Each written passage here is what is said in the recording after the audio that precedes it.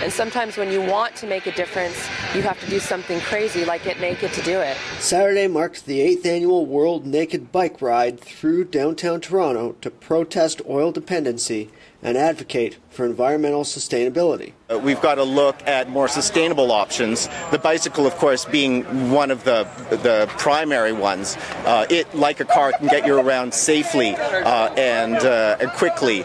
Many participants used body paint to post environmental messages on themselves. For many of Saturday's riders, the Naked Bike Ride, an event that takes place in over 80 cities around the world, is the best and most shocking way to make an environmental statement. I wish some of my friends would have joined me today.